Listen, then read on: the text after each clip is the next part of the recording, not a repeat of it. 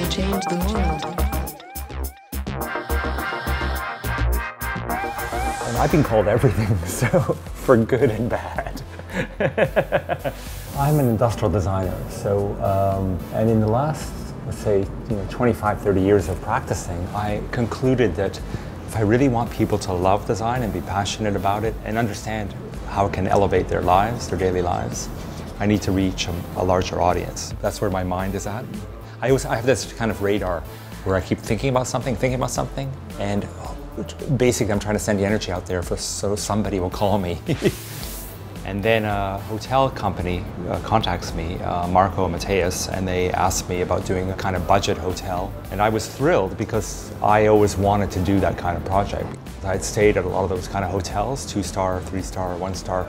And when I looked at them and I was in their spaces, I always thought that for the same amount of construction of money, same amount of energy, same amount of time and people, the hotel could be so much better designed and actually really designed, not just decorated. You know, the beautiful thing about, I'm fortunate, of the profession of industrial design is that it's extremely broad because it's about touching everything in our physical environment.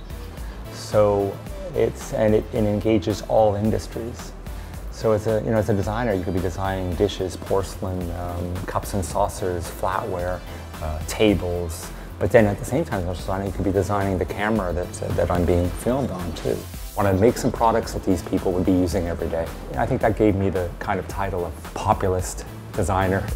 Hanover is kind of an unusual building. I didn't do the building, um, but the, the building itself is a very different presentation. But I'm trying to perpetually shift it, change it, build some sort of relationship with the place, with the city it's in, and also to try and experiment to push other boundaries in it, to give a different sense or different feeling uh, very critical, you know, which I, I think it makes me a good designer, B, it makes me a terrible person because, because I want everything perfect.